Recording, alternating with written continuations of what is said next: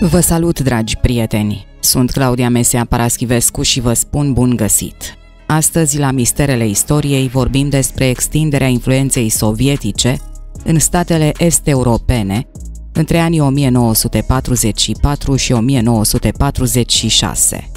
Și începem cu Polonia.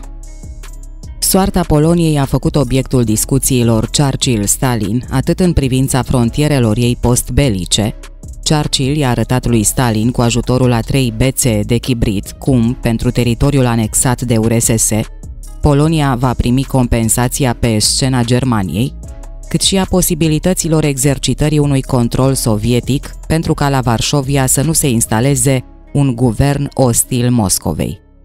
Când Roosevelt i-a cerut lui Stalin să facă o declarație privind organizarea de alegeri libere, dictatorul sovietic s-a eschivat, spunând că existau o droaie de prilejuri pentru astfel de exprimare a voinței poporului.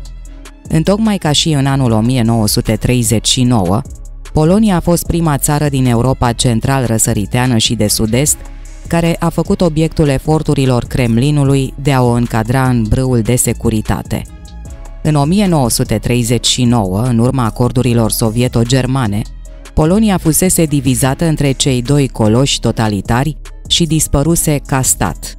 Acum, în 1943, problema se punea în alți termeni. Statul polonez urma să fie restabilit, dar Stalin era hotărât să păstreze teritoriile anexate în 1939, în această privință beneficia și de acordul anglo-americanilor, și să facă din statul polonez reînviat și deplasat spre vest un simplu satelit component al glacisului sovietic. Dacă primul obiectiv fusese atins la Teheran în conversațiile dintre cei trei mari, cel de-al doilea reclama un ansamblu de măsuri politice, militare și represive, destinate să elimine toate structurile și pe partizanii guvernului polonez în exil de la Londra.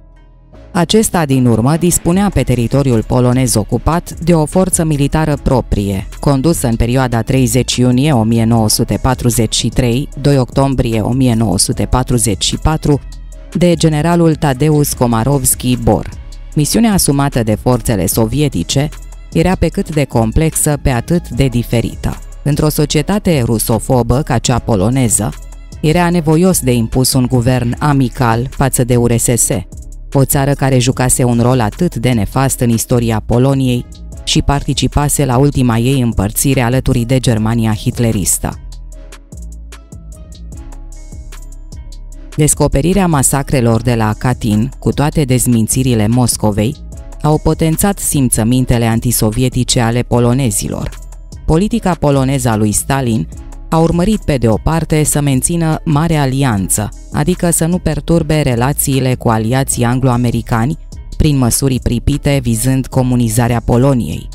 Dar pe de altă parte, sub formula Frontului Național, să pregătească instalarea unor autorități ușor de controlat de către Moscova.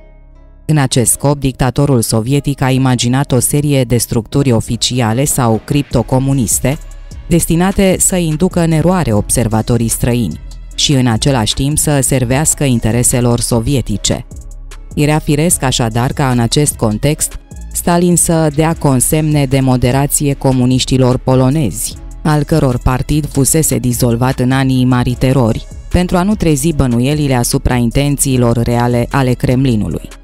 La 21 iulie 1944 ia ființă la Lublin Comitetul Polonez al Eliberării Naționale – un organ îndeplinind practic funcția de guvern, avându-l în frunte pe E. Osubka Moravski, un socialist de stânga, folosit ca simplu paravan. În discuțiile cu comuniștii polonezi, Stalin și-a dezvăluit foarte clar intențiile. În toamna lui 1944, el le-a spus, potrivit notelor luate de Boleslav Bierut, că situația este pentru noi foarte favorabilă ca urmare a prezenței armatei roșii pe teritoriul nostru. De partea voastră este acum o astfel de forță încât, dacă veți spune 2 ori 2 fac 16, adversarii voștri vor confirma asta, dar nu va fi întotdeauna așa. Atunci o să fim dați la o parte, împușcați ca potârnichiile. Și mai clar s-a exprimat Stalin în privința rolului decisiv al armatei roșii în asigurarea accesului comuniștilor la putere. Iată, dacă partidul nu folosește, a spus el, perioada actuală și nu ia puterea în mâini, atunci nu va mai fi nici partidul, singura cale, preluarea răspunderii, să nu se țină seama de nimeni. Așa cum văd eu munca voastră, dacă n-ar fi armata roșie, atunci într-o săptămână n-ați mai fi nici voi. Și dacă armata roșie merge mai departe și trupele poloneze, fiind vorba de armia Ludova, controlată de oamenii Moscovei la fel, cu cine o să rămâneți? Reorganizați-vă sau plecați. Radicalizarea declarațiilor lui Stalin, îndemnul lui pentru o rapidă valorificare politică a prezenței armatei roșii, se explică prin izbucnirea la 1 august 1944 a insurecției de la Varșovia, guvernul polonez în exil la Londra, dorind ca insurecția să ducă la eliberarea capitalei și să dea astfel autorităților poloneze autentic reprezentative o bază teritorială, care să oblige Moscova să țină seama de forțele care refuzau ca țara lor să fie aservită URSS. După cum se știe, tocmai pentru a face să eșueze tentativele guvernului polonez de la Londra de a se implanta temeinic în țară, Armata Roșie, aflată în suburbiile Varșoviei, nu a intervenit în favoarea insurgenților, care au fost înfrânți după o luptă ce a forțat admirația germanilor, întocmai ca în 1939, fiecare în zona sa de ocupație, germanii și sovietici, au desfășurat o acțiune sistematică de lichidare a rezistenței clandestine poloneze. De data asta însă, nu numai teritoriile anexate de URSS în 1939, ci întregul stat polonez, cu noile sale frontiere, urma să fie inclus în glacisul sovietic. Interesul manifestat de Marea Britanie, care, să nu uităm, intrase în război pentru a onora garanția acordată Poloniei, împreună cu Franța, la 31 martie 1939, și de Statele Unite ale Americii pentru salvarea măcar a aparențelor, dacă nu pentru menținerea unei Polonii independente, l-a obligat pe Stalin să încetinească ritmul de aservire a Poloniei. În ceea ce privește România, mult mai simplu, din unghiul de vedere al sovieticilor, s-au desfășurat evenimentele în țara noastră. Spre deosebire de Polonia, unde exista o puternică fractură între comuniști și anticomuniști, între pro-sovietici și antisovietici, în România se crease o amplă alianță politică, Blocul Național Democratic, din care făceau parte PNC, PNL, PSD și PCDR, ultimul, deși minuscul, admis numai pentru că se știa că în spatele lui se afla colosul sovietic.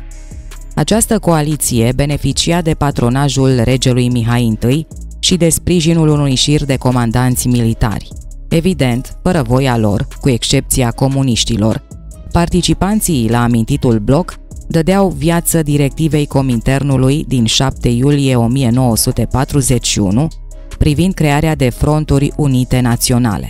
Toate forțele politice din Blocul Național Democratic se pronunțau în favoarea strângerii relațiilor cu URSS, astfel că Moscova nu putea decât să se felicite de a vedea realizându-se la București ceea ce preconizase din 1941. Actul de la 23 august 1944 a deschis armatei roșii drumul într-o țară în care, spre deosebire de Polonia, existau instituțiile unui stat perfect articulat, monarhia, guvernul, partide politice, armată. Atitudinea sovieticilor față de acest stat, care se desprinsese prin propria forță din orbita Reichului, avea să fie un adevărat test pentru viitoarea politică sovietică în perioada postbelică. Este semnificativ că pentru a calma aprehensiunile anglo-americane privind intențiile sovietice față de țările eliberate, guvernul sovietic dăduse cele mai liniștitoare declarații privind viitoarea situație a României și Poloniei. La 2 aprilie 1944, Molotov declarase că guvernul sovietic nu urmărește scopul de a dobândi vreo parte din teritoriul României sau de a schimba o rânduire socială existentă în România. La 26 iulie, o formulare identică în declarația sovietică privind Polonia, URSS, nu urmărește scopul dobândirii vreunei părți a teritoriului polonez sau schimbarea ordinii sociale în Polonia. Sub camuflajul unor astfel de declarații liniștitoare, crezute din naivitate sau rea credință de anglo-americani, Kremlinul pregătea includerea Poloniei și României în brâul de securitate al URSS. Desprinderea României de Reich la 23 august 1944 a modificat fundamental situația geostrategică în Europa de Sud-Est. Armata Roșie a avut deschise două mari axe de înaintare, spre peninsula balcanică și spre Viena. 23 august s-a dovedit a fi una din zilele decisive ale întregului război. Cât privește Bulgaria, această țară fusese în stare de război cu Marea Britanie și Statele Unite, dar rămăsese neutră în conflictul sovieto-german.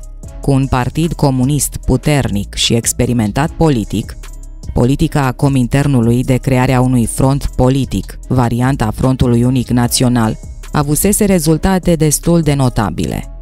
Alianța aflată sub egida Partidului Comunist Bulgar cuprindea elemente ale aripii stângi din Uniunea Populară și Partidului Social Democrat, din gruparea Zveno și personalități politice de orientare pro-sovietică.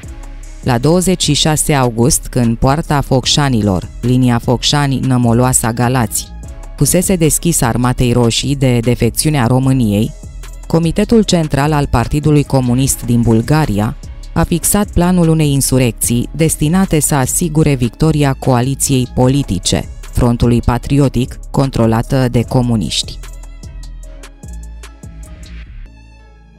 La 5 septembrie 1944, URSS a declarat război Bulgariei pentru a putea intra cu trupele sale pe teritoriul acestei țări. În aceeași zi, Gheorghi Dimitrov a trimis instrucțiunile sale Partidului Comunist Bulgar care fixau următorul obiectiv. Poporul bulgar și forțele sale armate trebuie să se alăture hotărât armatei roșii, care eliberează Bulgaria de sub opresiunea germană și izgonește pe bandiții germani și pe ticăloșilor complici de pe pământul bulgar. Conjugarea între intrarea armatei roșii și acțiunile frontului patriotic, dirijate de comuniști, a permis ca într-un răstimp scurt, 6-8 septembrie, aparatul de stat central și local să ajungă în mâinile comuniștilor și aliaților lor. La fel ca în Polonia și în România, și în Bulgaria rolul decisiv în instalarea unui regim de obediență comunistă a aparținut armatei roșii. În ceea ce privește Grecia, din perspectiva Londrei, Grecia apărea ca avampostul de apărare al Suezului, jalon de însemnătate capitală pe drumul imperial spre posesiunile coroanei britanice din Asia. Pentru a obține o garanție că trupele sovietice nu vor ocupa Grecia, Churchill a inițiat încă de la începutul lui mai 1944 negocieri privind delimitarea sferelor de influență. Termenul era evitat pentru a nu indispune Washingtonul, ostil în principiu unor astfel de practici, în Europa de Est, principiul de bază fiind România pentru URSS, Grecia pentru Marea Britanie. După discuții tripartite anglo-sovieto-americane, Stalin dorea și acordul lui Roosevelt, a căror desfășurare exactă nu este nici astăzi foarte bine cunoscută, mai ales poziția Statelor Unite, s-a ajuns la călătoria lui Churchill la Moscova, în cursul căreia s-a încheiat faimosul acord de procentaj anglo-sovietic, în urma căruia, în final, URSS a dobândit o preponderență de 90% în România, 80% în Ungaria și Bulgaria, egalitate în Iugoslavia, 50%, și 10% în Grecia. Acordul de procentaj a însemnat practic recunoașterea glacisului strategic sovietic de către Marea Britanie într-o formă incompletă, Ungaria, România și Bulgaria. Iugoslavia, unde proporțiile de influență ale celor doi parteneri erau egale, se afla practic sub controlul forțelor comuniste ale lui Tito, un lider plin de inițiative care nu întotdeauna coincideau cu interesele și directivele Moscovei. Albania, neinclusă în acordul de procentaj, se afla de asemenea sub autoritatea comuniștilor. În toamna lui 1944, Finlanda, Polonia și Cehoslovacia rămâneau încă, cel puțin în principiu, cu un statut nedefinit din unghiul de vedere al gradului de dependență față de URSS. Despre Iugoslavia, încă înainte ca acordul de procentaj să fi livrat practic lui Stalin sud-estul Europei, cu excepția Greciei, dictatorul sovietic vedea în Iugoslavia principalul reazem al glacisului sovietic în Balcani, chiar dacă înțelegerea cu Churchill prevedea o paritate de influență a celor doi parteneri. La 15 aprilie 1944, într-o telegramă adresată lui Tito, Stalin și Molotov au formulat explicit acest obiectiv. Considerăm Iugoslavia ca un aliat al Uniunii Sovietice și Bulgaria, ca un aliat al dușmanilor Uniunii Sovietice. În viitor, am dorit ca Bulgaria să se desprindă de Germania și să devină aliatul Uniunii Sovietice – în orice caz, am dorit ca Iugoslavia să devină principalul nostru reazem în Europa de Sud-Est. Considerăm necesar să explicăm că nu intenționăm sovietizarea Iugoslaviei și Bulgariei, ci preferăm în schimb să menținem contacte cu Iugoslavia și Bulgaria democratice, care vor fi aliatele URSS. Acest text relevă planurile URSS în Balcani, poate mult mai clar decât memorandumurile redactate de Litvinov, Maischi și Gromyko asupra intențiilor și politicii URSS în lumea postbelică. Așa cum a remarcat istoricul rus Vladimir Pechatnov, toate aceste proiecte aveau la bază principiile continuării cooperării între partenerii Mari Alianțe, sub forma unui directorat al lor și satisfacerea intereselor de securitate ale URSS. Acordul de procentaj și succesele comuniștilor în Iugoslavia, Bulgaria și Albania au deschis o nouă perspectivă realizării unui glacis extins sau brâu de securitate în Europa de Sud-Est. În 1939-1940,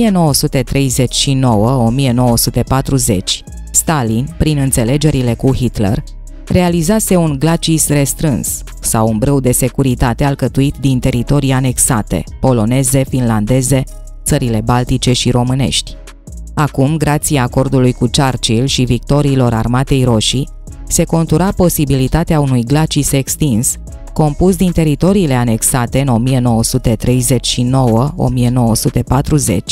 și dintr-un sistem de state satelit în care puterea să fie exercitată de guverne de coaliție aflate sub controlul mandatarilor Moscovei comuniste.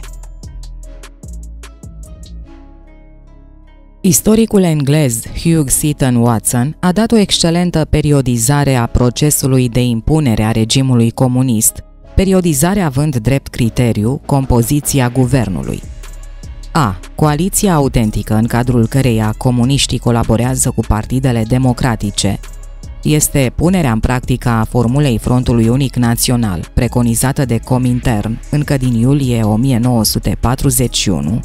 B. Coaliția fictivă, compusă din partide și organizații criptocomuniste, sau dirijate din umbră de comuniști, precum și din tovară și de drum, altfel spus oamenii politici burghezi sau socialdemocrați, dispuși din diverse rațiuni să colaboreze cu comuniștii, și C. Regimul monolitic al Partidului Comunist care exercita singur puterea. Această succesiune s-a născut spontan sau a fost manifestarea unui plan elaborat de veche dată? În stadiul actual al documentației este dificil de dat un răspuns categoric. Istoricii s-au călăuzit decenii de-a rândul de informația dată de Milovan Gilas, potrivit căreia în aprilie 1945, în cursul unei discuții cu o delegație iugoslavă, condusă de Tito, Stalin a spus cuvintele atât de des citate ulterior. Acest război nu este ca acelea din trecut. Oricine poate ocupa un teritoriu, impune și propriul său sistem social, fiecare impune propriul său sistem social până unde înaintează armata lui. În pofida legendei de largă răspândire, nu a însemnat o împărțire a lumii între URSS și marii ei aliați occidentali. În Balcani, situația era stabilizată prin blocarea definitivă, În urma vizitei lui Churchill la Atena din 25-28 decembrie 1944, a accesului comuniștilor spre putere, iar Stalin respecta cu scrupulozitate acordul de procentaj, abandonându-i pe comuniștii greci. Principala problemă a conferinței de la Ialta din 4-11 februarie 1945 a fost cea a Poloniei, a frontierelor sale și mai ales a guvernului. Noile granițe, linia Curzon în est, o extindere neprecizată în vest, au fost mai lesne de acceptat. Cea instalării unui guvern cu adevărat reprezentativ s-a dovedit mult mai spinoasă, pentru că Stalin nu intenționa să cedeze într-o problemă capitală pentru segmentul central european al glacisului. Cercetătorul american Scott Parrish a aprofundat analiza evoluției așa numitei dileme de securitate din cadrul raporturilor americano-sovietice. Statele Unite ale Americii au crezut că, profitând de marasmul economic din Europa Occidentală, ruinată de război, Stalin, folosindu-se de forța partidelor comuniste din Franța și Italia, va încerca să-și impună adepții la Roma și Paris. Din această teamă s-a născut planul Marshall, destinat să contracareze ascensiunea comuniștilor spre putere. La rândul lui, Stalin a văzut în planul Marshall o încercare a Statelor Unite de a-i smulge, prin mijloace economice, glacisul abia constituit, de a izola URSS și de a reface sub egida occidentală Germania. Reacția lui Stalin a fost pe măsura temerilor sale. El a interzis țărilor satelit să participe la ceea ce îi apărea a fi un adevărat complot american.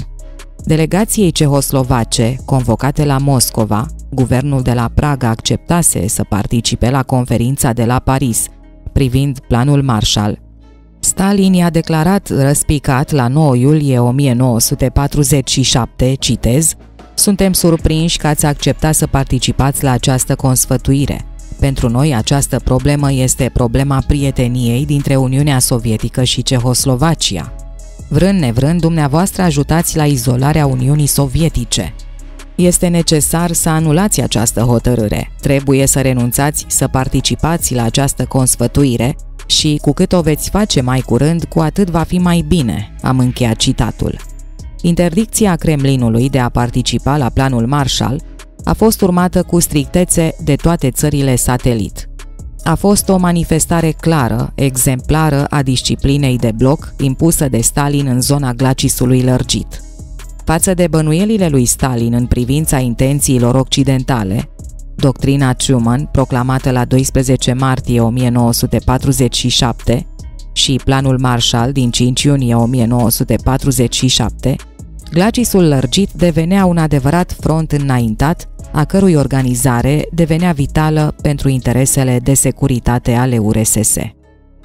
Între 22 și 27 septembrie 1947, s-a desfășurat în Polonia consfătuirea partidelor comuniste și muncitorești din Bulgaria, Cehoslovacia, Iugoslavia, Polonia, România, Ungaria, URSS, Franța și Italia.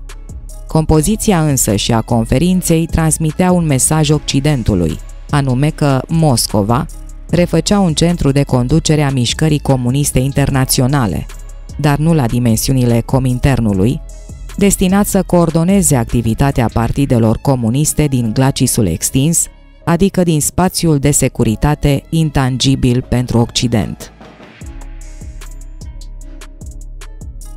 În același timp, prezența celor două partide comuniste apusene, cel francez și cel italian, adică a celor mai puternice detașamente ale mișcării comuniste internaționale, era un avertisment. În orice moment, dacă Occidentul nu respecta glacisul extins sovietic, Kremlinul dispunea de mijloacele necesare pentru a destabiliza lumea capitalistă. Declarația finală cuprindea teza de bază din raportul reprezentantului sovietic Jdanov privind situația internațională, împărțirea lumii în două lagăre. Altfel s-au format două lagăre, lagărul imperialist și antidemocratic, care are ca scop principal instaurarea dominației, a imperialismului american și zdrobirea democrației, și lagărul antiimperialist și democratic, care are ca scop principal surparea imperialismului, întărirea democrației și lichidarea resturilor fascismului. Prieteni, atât pentru astăzi. Vă mulțumesc ca de obicei pentru că ați fost alături de mine și vă aștept cu drag și data viitoare. Pe curând!